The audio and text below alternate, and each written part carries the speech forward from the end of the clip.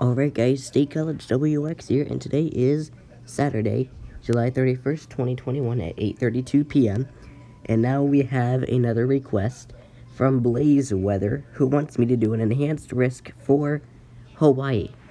So that's what we're going to do here.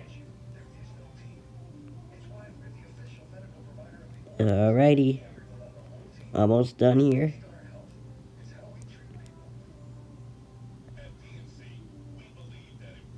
I know I got a little bit out, but there you go. Enhanced risk for Hawaii. That'll be it.